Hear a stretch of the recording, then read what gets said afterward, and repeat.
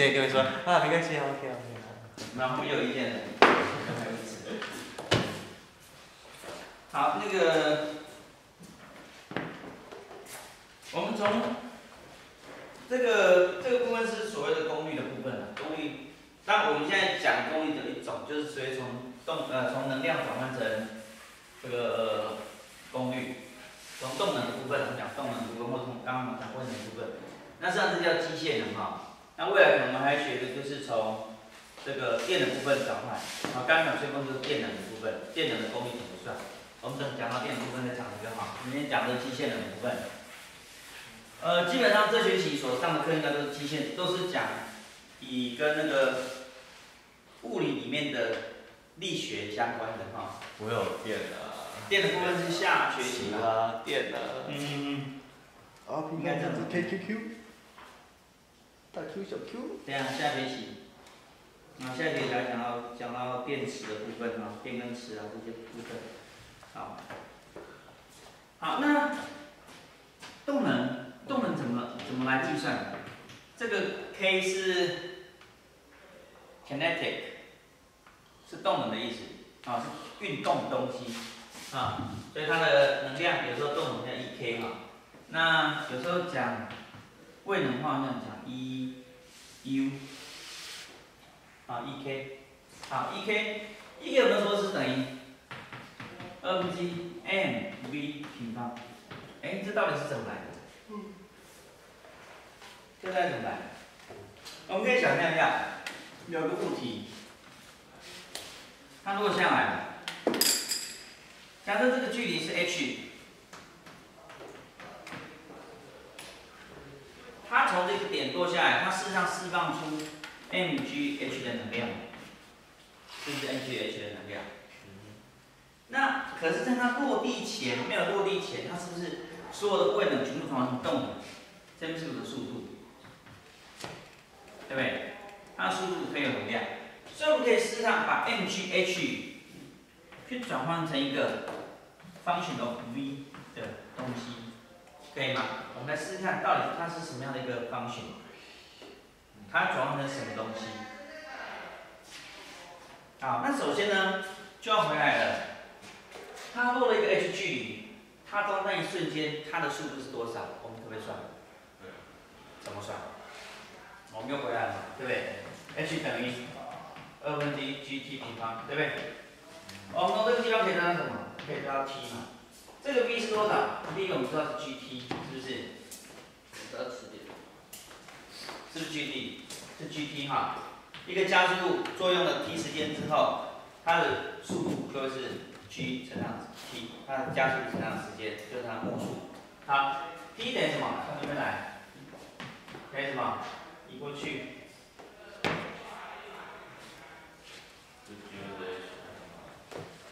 所以是分之二 h，开根号，这样的吗？好，对成绩来说等于什么？等于根号。二 G H，是这样。好，所以我们可以发现，这边的 G H，这边假设这边 G H 的话，G H 是跟 V 是有相关的，所以我们做个移项调整一下，这 V 平方等于二 G H，所以 G H 等于？二分之 V 平方，对不对？带进来，所以我们可以得到这方程的 V 是什么？二分之 m v 平方，也就是说，当这个速度越快的时候，它所得到的能量越高。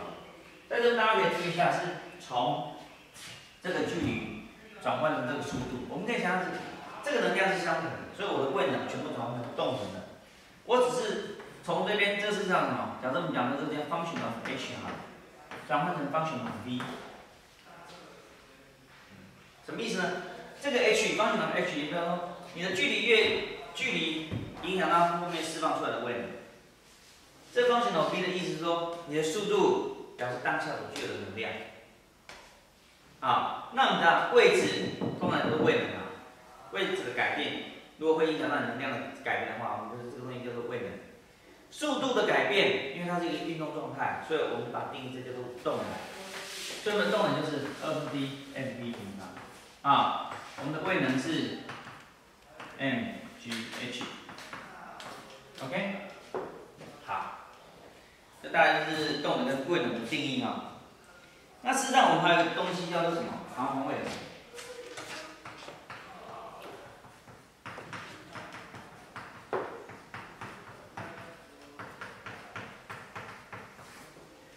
什么是弹簧位能？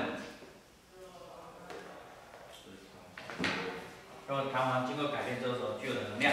好，我们来看一下啊。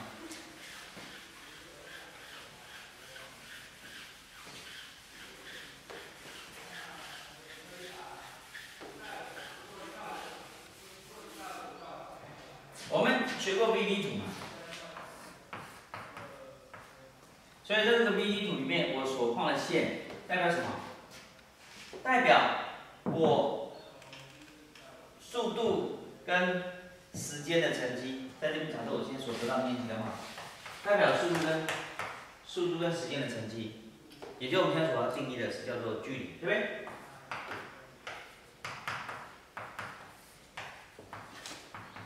这积分啊，哈，对 t 做积分，表示我这个东西的面积，这代表就是我的距离，所经历过的距离，啊，好了，同样概念，假设我可以做出一个叫做 f x 图，这什么意思？f 是力量，我们用大小，这个 x，x 用用好还是用 x 啊？x 代表位移。我代表力，什么情形会有说因为位移力量改变的？就是弹簧嘛。呃，我的位置改变，在地球表面的位置改变，会不会地球的吸引力重力改变吗？不会吧，不会改变哈。所以假设以地球来看的话，我应该是这条线吧？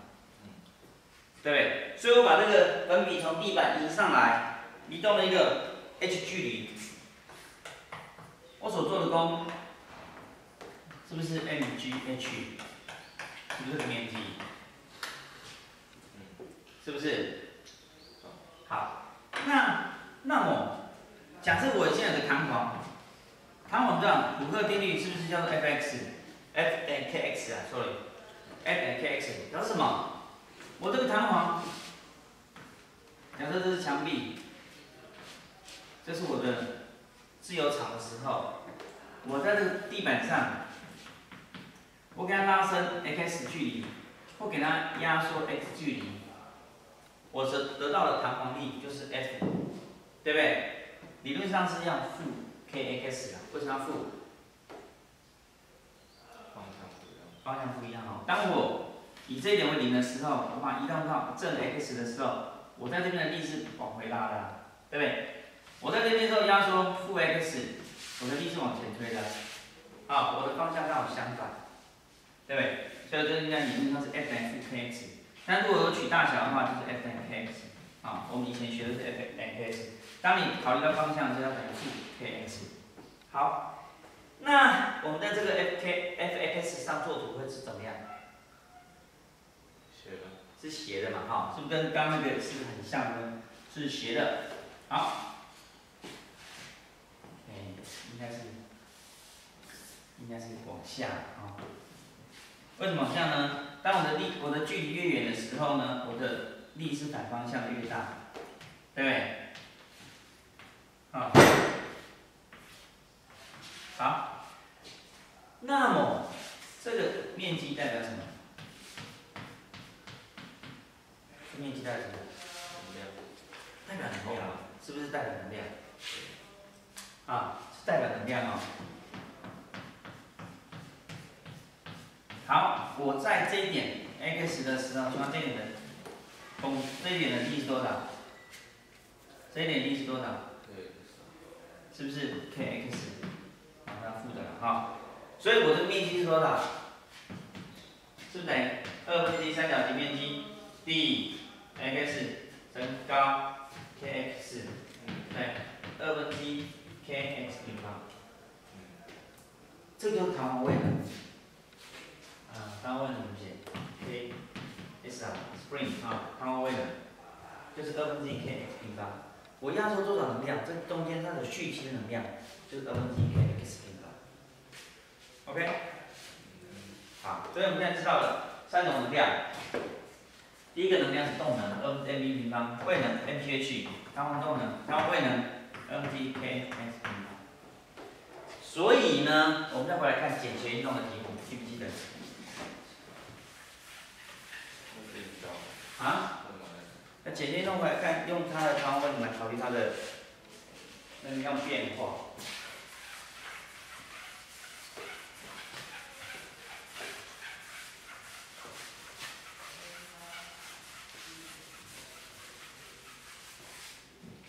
好，假设呢，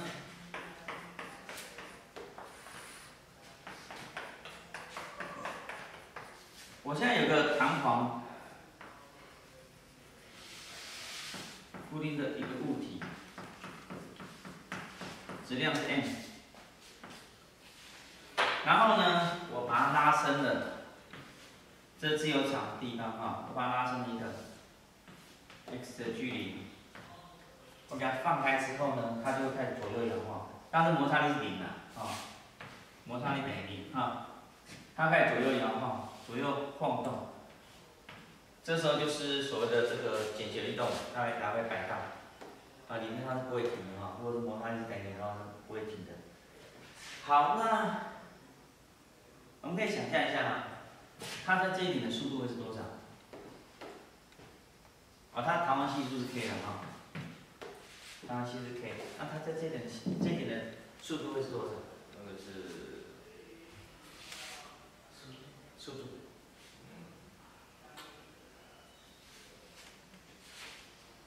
要算一下。那你算一下。这时候我们就想说，我从位能嘛，这边一定有一个弹簧位能嘛，弹簧位能总能动的嘛。好，在这边的弹簧位能多少？我们刚刚讲过了，等于多少？弹簧位能二分之 k x 平方。就到这边的时候，弹簧位能有没有？没有。弹簧位能全部转换成动能嘛。所以我们假设我们的 b 是我们假设的，所以它这时候等于二分之 a v 平方嘛。对不对？所以 b 是可以做，x 是已知嘛，k 是已知，m 是已知，只有 b 是未知，所以 v 平方等于什么？m k x 平方，是不是？所以 b 等于什么？是等于二分之 k 加个好 m k 这是 x，或者是 x 方面，所以这是我的速度了。对不对？好，那我们上次有讲过啊，假设这是我可以问你周期吗？这个题目我可以问你周期。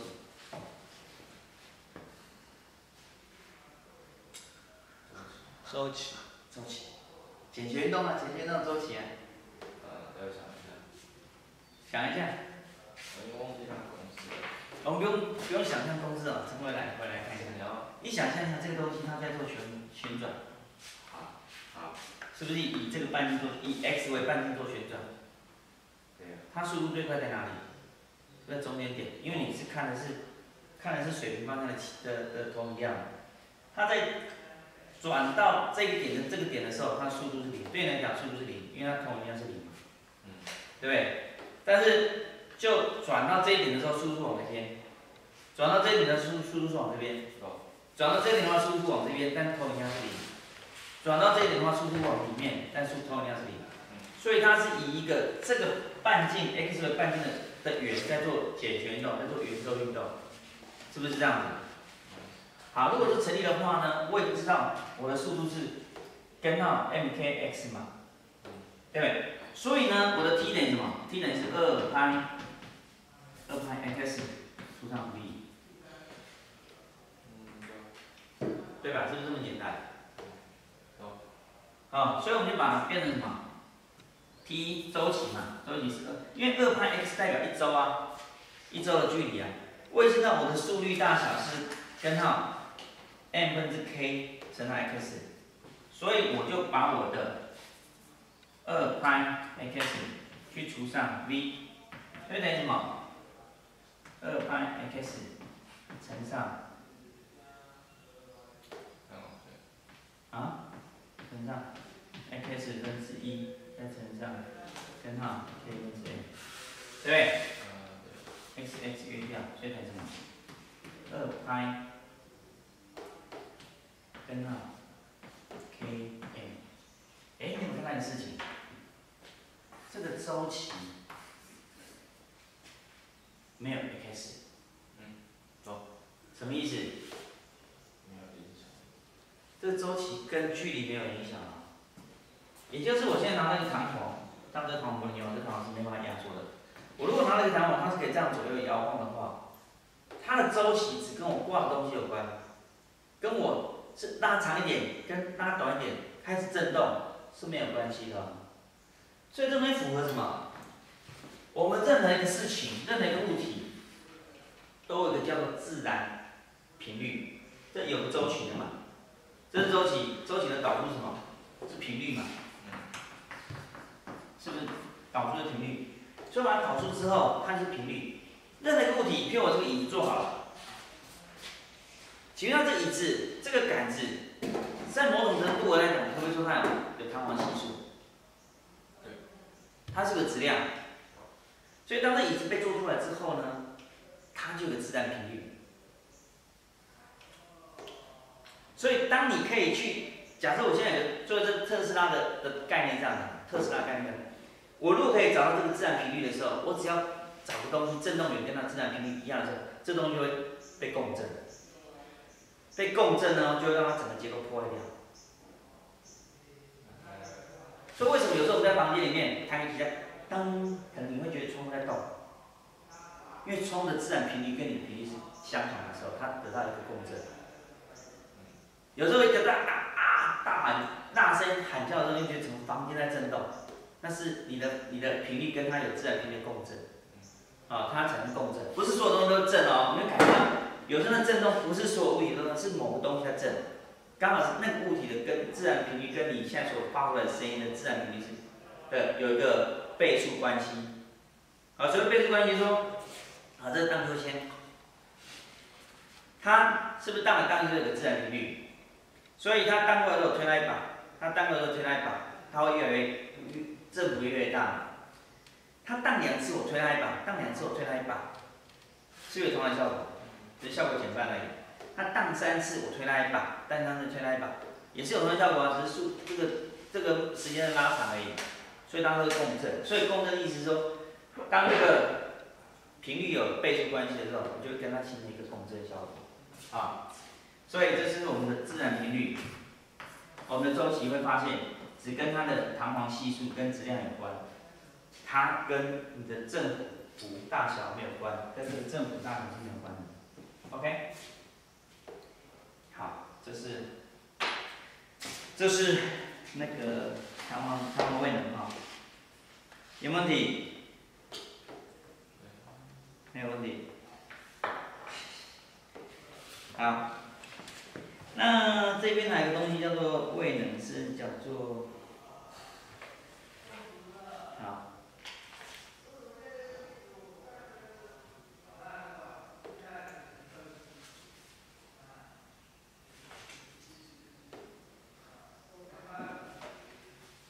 好。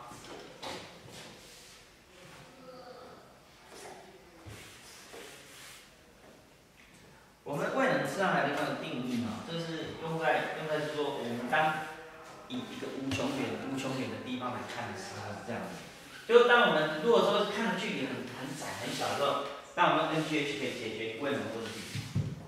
可是当我们现在要面对的是，我们要到太空去探险啊，我们派一个太空船要从这边去登陆某个彗星啊，对不对？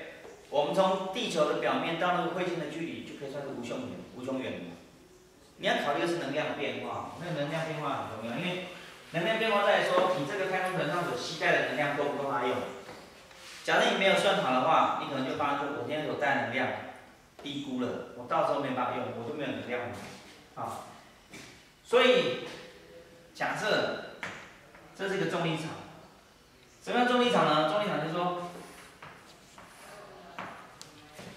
场场在英文叫做 field。场的概念就是说，它是个趋势，是个趋势的感觉。假设这个场的影响是对质量，比如我这边有个质量 m，我放在这个场，你会发现它往这边移动，有往这边移动的趋势，我就说这就是我场的方向，这是我场的方向，这是有方向性的哈，场是有方向性的。假设呢，我放了一个物体在这边，然后它没有影响的话，那就是没有场的效果。可是我如果发现说，哎，我放一个正电荷在这边。然后它也会被吸引，这叫电力场。假设我放的是一个磁铁，放在这边，我发现它会被吸，它也会吸引，这叫做磁力场。或或者被排斥，或者是被排斥。我们就说这是一个场效应，啊，有场效应。好，那我们现在是讲重力场好了。在一个重力场的时候。我们可以看到，既然叫重力场，它只对谁有影响？它只对质量有影响，对，只对质量有影响。所以我们想说，好，我现在一个无穷远的地方，无穷无穷远的地方，我们这里假设无穷远地方的的能量是零，好了，是不是零？嗯。好，那假设这个地方是零，我往这边靠近。我是往越往越越往这边靠近，我的能量越大越小。越大越小，啊，是吗？我现在看这是地球，我如果地球的这边有东西落下来，你会说这边的能量比较高，还是这边能量比较高？落下来。比较靠近地球能量比较高，比较远离地球能量比较高。远离。呃，它不是零。在零啊。它不会有动的。真会有动的，所以能量同时动。啊，所以是这边能量高，这边能量小，所以说在这边的位能就叫负的，都是负的能量，可以接受吧？都是负的，OK？什么位能？位能是负的，位能是个相对哈，位能是个相对，比如我一个物体从这个高度落下来。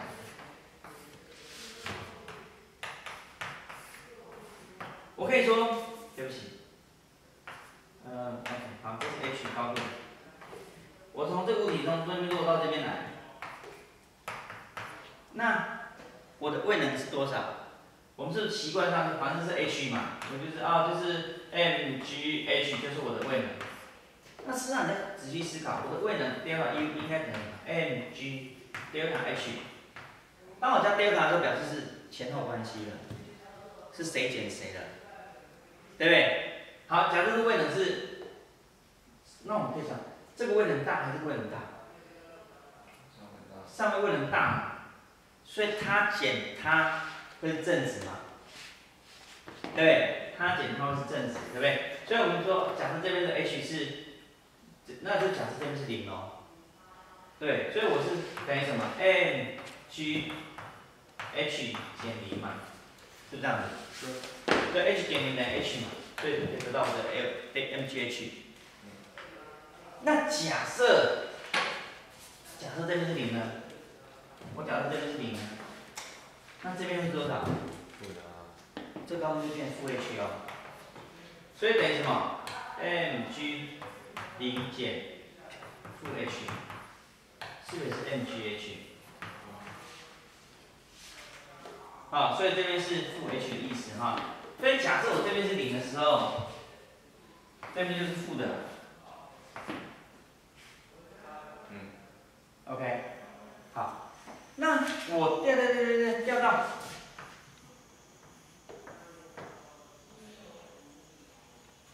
我掉到这边，那我这边具有多少能量？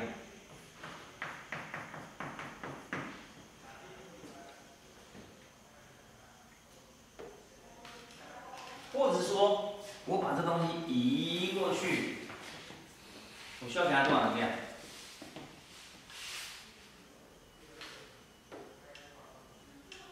对吧？我把这东西移上来，我需要多少能量？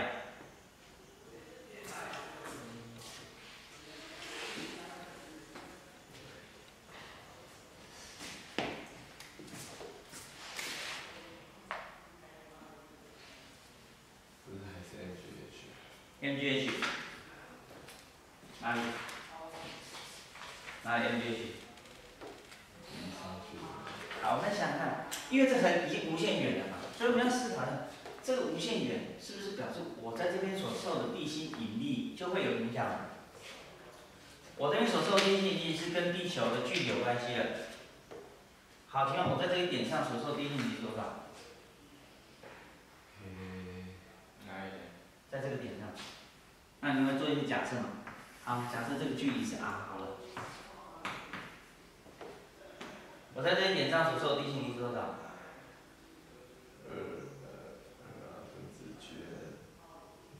二啊，不会是二啊？r 平方对 r 平方啊分之绝。我所受的地心引力，F 等于 r 平方分之 g m m，对不对？对不对所以我的能量是跟 r 平方有关系。好了，昨天往下掉到这边，我的力量是什么？等于什么？我能量等于什么？好，假设这边是 r prime 好了，r prime 平方 g m m，对不对？那好了，我从我从无穷远是零嘛，因为为什么无穷远是零嘛？它的定义其实很简单，你看我这边的 r 是无限大的时候，无限大的平方，这个力量是多少？均匀无限小。无限小是零嘛，是趋近零，所以我在无限远的地方，我所受的力是零啊，所以所受的是力力是零，基本上我们我有没有所谓的未能？没有。好，这时候我在任何改变一点点距离，好像都没有位能，因为我的位能等于 mgh 嘛，这个事实上这个 g 是零嘛，所以等于零乘上 h 嘛阿卡 h 嘛阿卡 h，所以等于零嘛。所以无限远的地方几乎没有改变，可是当我移动一段距离之后就有改变了。可是距离不能用这边来算，因为这无穷远是没有标记的嘛，所以我只能从这边来算嘛，从这边距离来算。好，那那么那在这一点上的位能是多少？我们这个看这边的位能到这边的位能的差，不从这个位能到这边的位能的这个差别，就是我这里的位能。我这样讲，知道为什么？嗯。然后到底是多少？我们可以画图吗？好，我们的 r 这是 r 平方，所以假设这是这是 r，好，这是 f，我们的图会怎么画？无限的地方是零，没有力，对不对？在 r 很很小的时候呢，比较大。那所以这这会怎么画？这张画面是不是这样？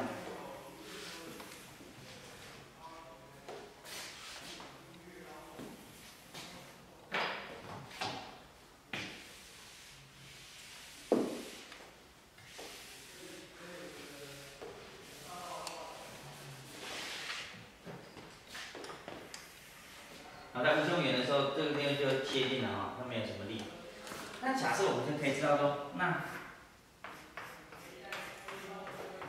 这个面积会不会就是我们的位能，我们的能量？嗯。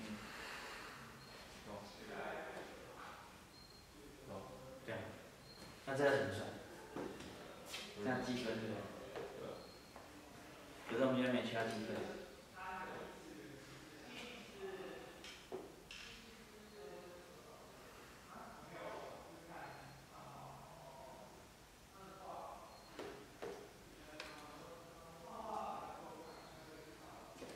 那怎么办呢？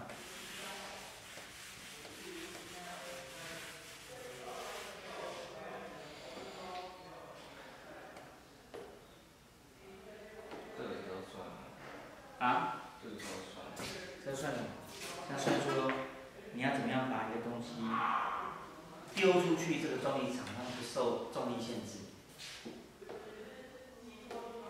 好，它有个方法可以让它不受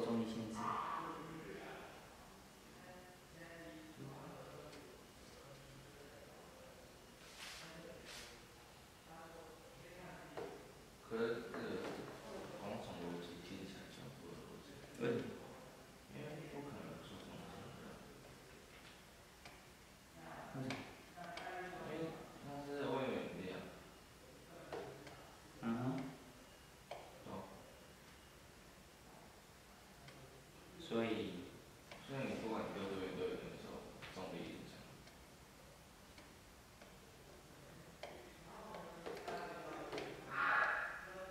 就是，好，呃，理论上你丢个石头往天空丢的话，这石头应该掉下来，是那有没有可能到某种能力的时候，我丢个我丢个丢个物体上去，它就不会掉下来？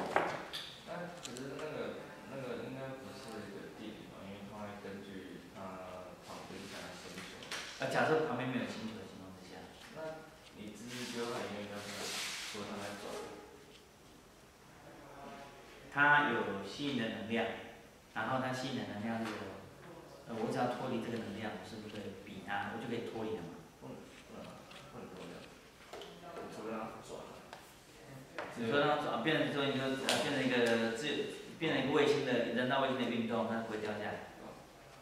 嗯，你这样讲好像也，如果有一天它可能最后还是会靠在一起，就是假设明天因为重力的影响，整个宇宙会崩溃，有一天宇宙会在收缩崩溃，那是对的。可是就我们可以想象一下，在某个某一个能量之下呢，这个太空船就可以几乎不受地心引力的影响，就可以出去了。因为你这样才有可能做星际间的旅行嘛。可是那我们可以说，可是它不是完全没有那个啊、不是完全没有，是零趋近于零啊，趋近零到很小很小很小很小，到你几乎不用考虑它的时候。那那那那打就是无限远啊。可是对啊，这这这招不是说这个吗？它上面写的不是说这个吗？地球这个，是吧？那球就是距离地心 r 处的质量 m 的时候，它跟地球的重力位能是多少？对啊，跟那跟你要求那个有没有关系？我要求你，就是你说什么时候才可以脱离啊？它并没有要脱离啊。它，对，但是它这个意思就是说，你的重力位能知道之后，我再补充多少能量，我就可以让它变零嘛。我知道这边能量之后呢，我这边能量你要知道，因为我先知道能量是等于 R 分之 G M M，负的，我是只要加上这个能量，我就可以让它等于零，我就可以到这个点上啊，我就可以让这个固体继续飞飞飞飞飞到这个点上啊。可是这点多少？无限远啊，我就可以到无限远去了，是不是？这是一个太空船，这个太空船本来在地球表面，然后它现在具有一个能量在这里，可是我怎么让这个太空船脱离地球的限制，可以飞到无限远处？我知道必须知道这边的能量是多少，对。当我知道这能量之后，我就可以让它到无限远了，合不合理？嗯，对吧？所以其实我们要讲的是，它给这个东西，但这东西怎么来？像你跟你讲，这是一个，我们把这个东西切开成什么？这是 mg 的话，那 g 是什么？g 是这个东西，这个是 g。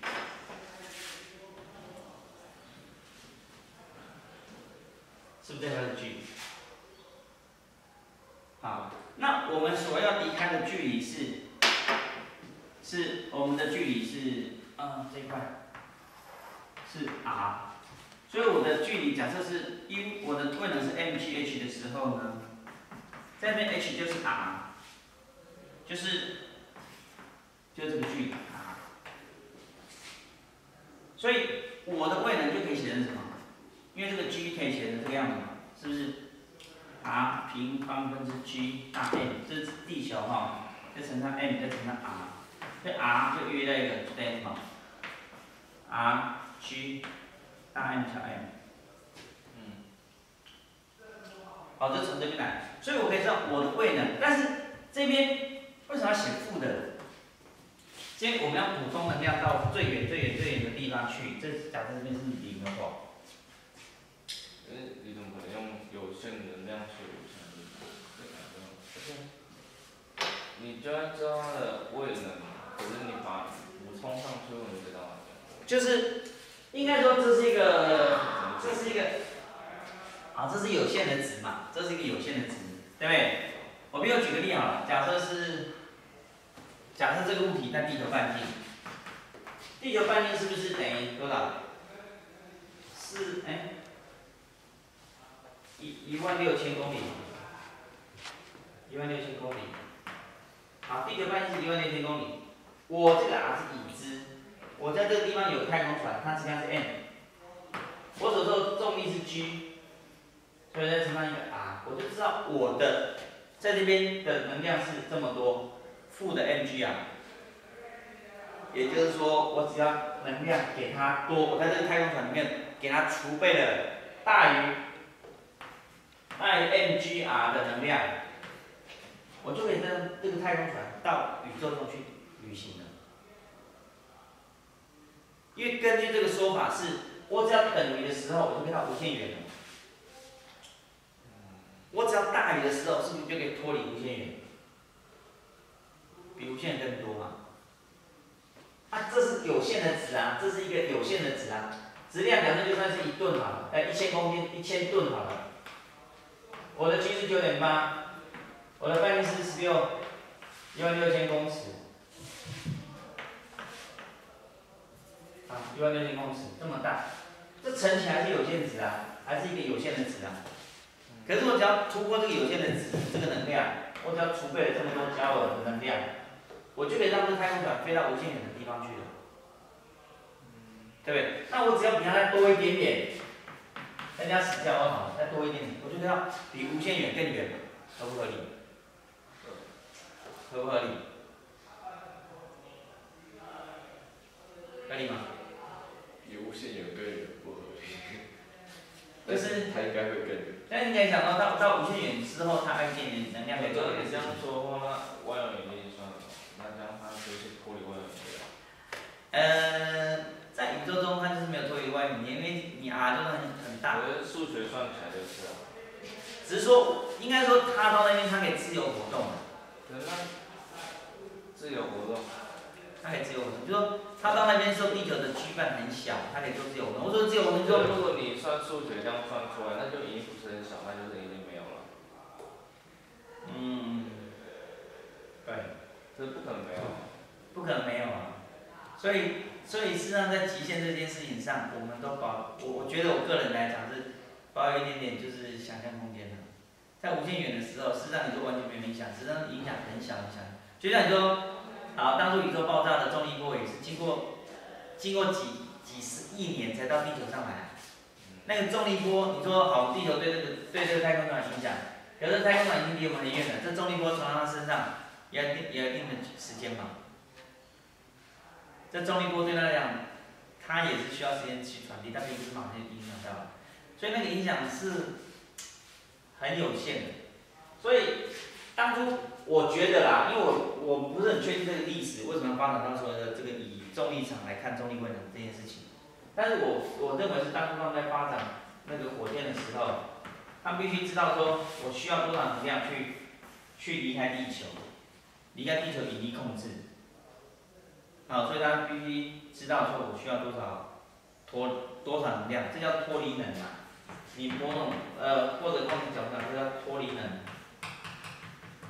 我要脱离这个重力场的局数，我需要多少能量？就是用这种方式去算。他先假设，他先假设无限远的地方，我的能量未能是零的时候，我反推回来，我知道在某个点上我的能量是多少。因为你看哦。我假设我现在有个太空船，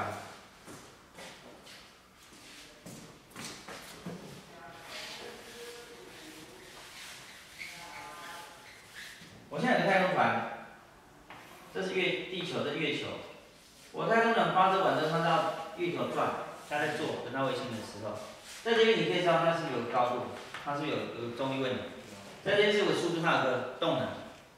可是你希望它能够回来，你说还在一个能量上脱离月球的重力束缚。那你看它脱离月球的重力束缚，你需要多少能量？这是不是需要先知道，否则你脱离不了它。所以你就必须去先。这个不是吧？因为我我觉得这个问题，就是因为你这个应该不适用在什么脱离，因为它这个，它嗯。你就算照它的位能，可是你不代表说你你补充一个位能就会到达零点啊，因为它的它的位能是跟它的距离的平方成反比的。对。对啊，所以应该不适用吧？就是如果，因为他如果是那个那个位能，如果是跟你的那个距离的一次成比的话，他就变成说，你只要你知道那个中间下面的一段距离，那你只要再补充同样距离的能量就会上去了。嗯可它不一样，因为它它是跟它的距离成反比啊，平方成反比啊，根据你看什么，那是力的部分嘛，就是力的部分。对啊，那其实就是嗯积分起来就不一样。嗯。对了，我们在取积分也是取一个类似一个逼近值嘛。可是它就是那那，可那那那你可以你把它缩小一点嘛，因为你说你只要补充到它未能的能量，你就会到零点啊。可是那只适用于说那个 F 哎 W 等于 F S 的时候才可以。好，我们这样讲啊，假设我现在是不是可以算出来？我现在是不是可以算出来说，这是地球，我可以算出这一点的位能吗？这样。可以啊，我可以算出这一点的位能。但是我补充这段的能量，我是可以把这个东西送到这边来。对啊，可以啊。那我可以知道这一点的位能。那我再补充这一点我会能量，可以把它送到这边来。然后我就如此类推啊。可是你这边知道的只是当我到这个点的时候，已经很小很小很小的时候，我知道说我再补充一点能量，我就可以到一个很远很远很远很远的地方去。当然这个无限，因为只要是无限，你乘上一个很小的数字，还是可能会有个值嘛，对不对？这个值是多少我不知道，因为是无限大到底是多少不知道。但是因为这是个这是一个极限函数，就像就像我们刚才讲说，啊，它它越加加了，那那我这样如果一加上二分之一，加四分之一，加上八分之一，加十六分之一，加等于多少？你不会告诉我说，因为这是无限，所以它很多可能性，所以它可能超过二，它不会超过二嘛？没有人生差不多。对，这边不会超过二嘛，这个是一样的道理啊。我所需要补充能量是越来越小，我所需要能量补充能量是越来越小的，所以它会有个极限值。那我知道极限值之后，我就只要比极限值多，我就可以超过它。嗯。对，那在物理上的意义，就像你讲的，就算在无限远处，你会不会受到重力场影响？还是会的。对，因为整个宇宙是无限大。整个宇宙你也可以说它不是无限大，它可能是有限大，只是那个有限在我们现在想象中它是无限大。所以你再远再远再远再远，你就是会受到重力场影响，对不对？只是说，我们如果提供足够大能量，我可以说在这个地方的时候，因为这已经无限远了嘛，甚至可能已经到银河系的边缘了，我可以说我可以提供这么大能量之后，我就可以运动到非常非常远的地方去。这个远是远到我们就是目前人类可以探索的最远处，这样讲。好，我一定有个能量可以让我做这件事情。那否则我今天如果提供再大能量，我都没办法做这个事情的话，我就没有办法去探索宇宙了。只是说我今天给他多少能量才可以做这个事情。这个远是非常非常远，但是有多远我们可能还是有限的，还是很有限的距离。只是我知道说，我可以提供一部分的能量，提供有限的能量，可以超过这个值。那超过这个值之后，我就可以去去做自由探索。比如这样讲啊，讲在某个点上，这距离已经是两百公里了。两百公里远的时候，我可以知道这个能量差了之后，我可以补充能量进去给它，让这太空船到两百公里的地方。那没错，到两百公里之后，假设能量耗尽，它会再被吸回来。可是够啦，我已经够了，我已经做很多事情就够了，对不对？可是那那我应该知道啊，可是你这样子的，那个你在叙述的状况，嗯哼，应该它应该是不会被吸回来的。就是说，那个那个东西就是变时间的影响。你说会不会吸回来？我觉得时间影响就是你你假设超过，啊，我怎么知道十一年、二十一年这个宇宇宙会会不会？我说几亿年、几十亿年、几百亿年之后，整个宇宙被塌陷。可是可是我我说我们在讲这个物理状况，你不能用说以后可能会怎么样。对啊，对啊，对啊，因为但是你知道吗？我们做东西速度、距离会等于速度乘时间嘛。当然，这时间很很很有影响的。你在整个宇宙整个宇宙中，我们讨论宇宙，假设因为这已经到无限远处的地方了，你要从无限远的地方，当然你的时间很重要啊，因为我没有办法到无限远处啊。就算我是光速，我现在就算是光速，我也是要走无限无限大的时间才能到无限远处的地方啊，嗯，对不对？光速已经是极限了嘛，我就算是光速运动，我还是有时间的关系啊，我我还是知道时间，才知道说无限远到底是多大。那这样我们知道无限远，当然就是就这边来讲，纯粹是理论性的讨论了。科学家他也带不出来的，但他可以知道说，我当我知道这能量是有限值的时候，这能量是有限的时候，我就可以有有办法努力嘛，我就可以超，我只要补提供足够的能量，这个宇宙宇宙中的宇宙中的探险，我就可以把太空船派到很远很远的地方去。因为我当我不知道这能量是多少的时候，我不我就好像今天一部车往前装加了汽油，就开出去，我根本不知道它的性能外面时速表外面油表。那最容最容易发生的事情，我开到一半抛嘛，为什么抛嘛？是没有油的，对不对？可是我如果已经知道说，哦，我今天从这边出发到台北去，再回来，我需要二十公升的汽油，我加三十公升的是不是可以确保可以回来？我可以确保可以到台北做什么事情，对吧？所以我们要现在做的只不过是这件事情，我需要多少能量，先确保这件事情。所以再补充这个能量，再多一点能量，我就可以造成太空船可以去到那边去做很多事情，就这样。我并不要他回来，我们太空船出去都不回来了，嗯，对啊，除非说去呃太空站或者去月球要回来之外，其他出去基本上都不回来。OK，好，那我们来，我们来看一下七十七页的第一题好不好？来，你可以拿。七十七页第一，其实它是一个叙述哈，我们可以简单来看一下它的叙述。它有个单板哈，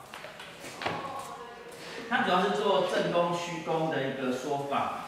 那什么叫正宫？什么叫虚宫？呃，复宫啊，复宫。什么叫正宫？什么叫复宫？这边有个说法是这样，就是说，好了，我现在这个板擦，我这样推它，我施力给它，可那速度没有增加多少，它变等速度运动，表示什么？我虽然我在做正功，因为我的力的方向跟我行进的方向是一致的，所以是叫做正功。可是谁在做副功？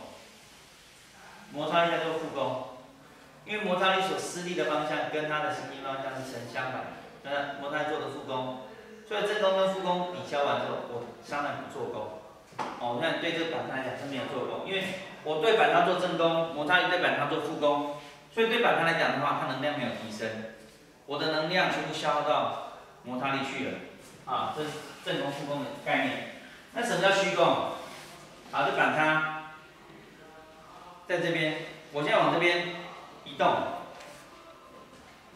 我这时候所做的功，我现在有四个力向上维持它的位置，可是这个力量并没有做功，所以现在所收我施的力做的是虚功，是没有做功的。答案是 B。好。这一题来讲的话，为什么绳子的张力不做功？因为它都跟那个方向是是垂直。OK，对哈、这个 T 不做功是因为它，anyway，它任何时间的速度都是跟这个方向成垂直，所以这个下面是这个是不做功。好，那重力做什么功？这力在这个情况之下做的是弓。正功，对不对？因为它的运动方向跟它的夹角小于九十度，表示我在这方向是有分力的。是正时。那什么时候是做负功？过去的。我从这个点开始往这边摆的时候是做负功，因为我的运动方向是往这边，可是我重力是向下，对不对？所以重力在这个方向的分力呢是是负的方向，所以做的是负功。所以在这边正力有时候做正功，有时候做负功，啊。然后还有什么？摩擦力、空气阻力。空气阻力做什么动？复工。空气阻力 always 做负功，因为空气阻力跟它运动方向相反。好，空气阻力永远跟运动方向相反，所以空气阻力做复工。好，我们到这边。